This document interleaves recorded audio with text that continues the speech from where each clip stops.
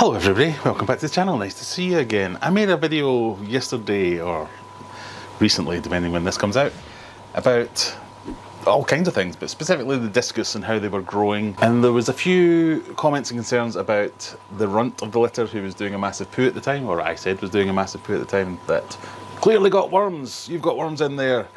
Um, and I was like, what?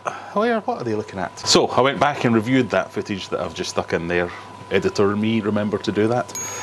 And yeah, it does look a bit like that. But at the time, it did not look like that. And I think if you watch the whole thing, it changes colour uh, depending on where he is in the tank. And to my eyes, it looked like a nice, healthy black poo. um, now we're, we're, now going to discuss fish poo.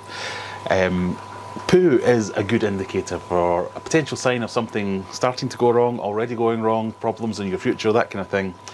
Um, and typically, with discus, but with other fish as well, with discus what you're looking for is clear poos, long stringy poos, uh, segmented poos that are clear often or white. Um, any of those things are signs that something is not right. You might have internal parasites, you might have worms, same thing, um, or an other number of problems going on. And yeah, I hold my hands up, that did look a bit sus in the video yesterday, but in real life, to my eyes, it did not look a bit sus. So I just thought I'd make a quick follow-up to clarify and check and see what's going out. So I have this morning gone and checked to see if that fish was doing what fish doing, had a poo, and yeah, this is happening. I've collected the poo from that fish, and we're now going to have a look at it under the microscope. Okay, my first microscope was broken, so we're using a second one that I'm not very good at using it. So what you can see on the screen here is the end of a pipette, which is teeny that size. And I've got some of the poop that I've collected in here. We'll see if we can get it on there. Right.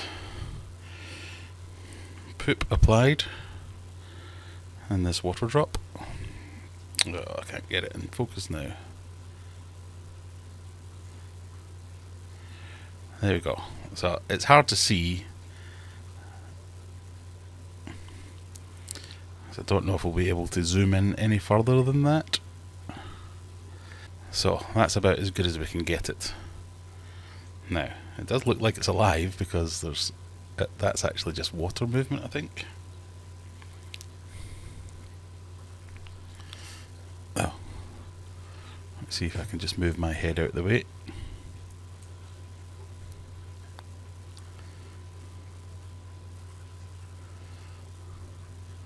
So I think that's just water movement. But maybe could be something in there.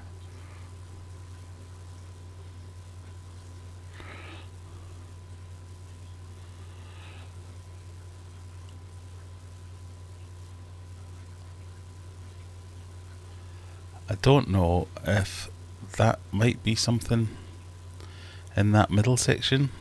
So it's very, every time I just move the table ever so slightly, it moves. But that could be a worm in there. Uh, oh, there's definitely a worm in there.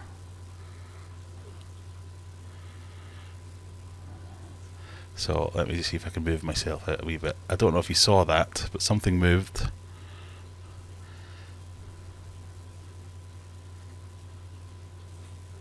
I think you can see just the kind of the bottom left corner where that just moved there. There's a worm going from one bit of the poop to the other bit.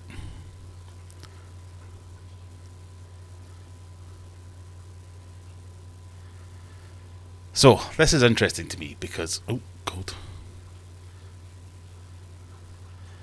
At first glance, and certainly to the naked eye, this doesn't show any of the signs of worms. Uh, in that it's it's white, it's stringy. This is dark black, good looking poop there is such a thing as good looking poop. Most of the things you can see there is me moving my head around and it's just altering the way the light's hitting it. That's not actually movement. Um, I think there, if I can get that into the centre of the screen, the bit right in the centre, there's a tiny, tiny transparent bit where the movement is. There's a bit of a that that definitely looks like a worm to me. So, like I say, it's not the segmented, stringy, white, see-through. It's it's proper dark poo, and to the naked eye, that looked like a good stringy poo. Having reviewed the footage, it did look quite white and stringy and segmented, but that's not what it was doing on the naked eye. So I was about to make a video going, ah, you're all wrong. This is definitely not worms. I don't know what you're on about. But now that I've actually put it under the microscope, there probably is worms. Now you know.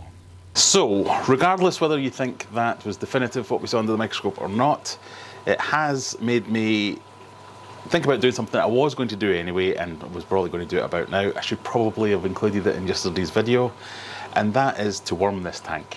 Now, that in and of itself might be a bit controversial because there are generally two camps.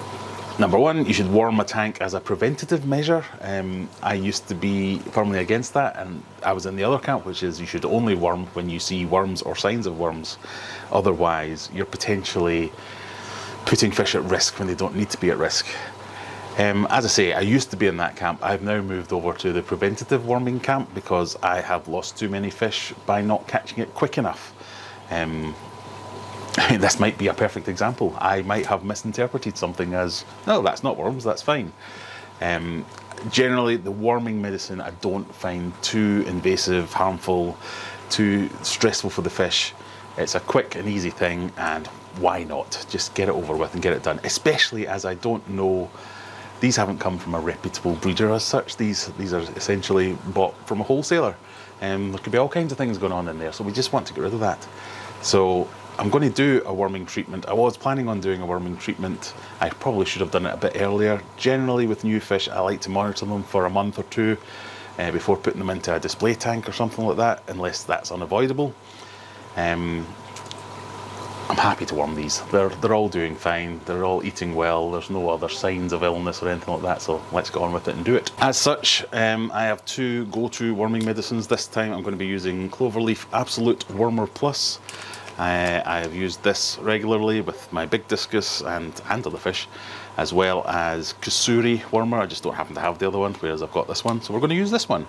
Um, all I'm going to say here is, whatever wormer you choose, follow the packet and do whatever it says. Basically just pour it into the tank.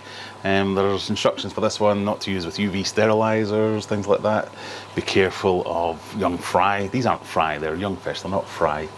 Um, but leave it in and it'll do its thing. Mix it in with the water and away we go.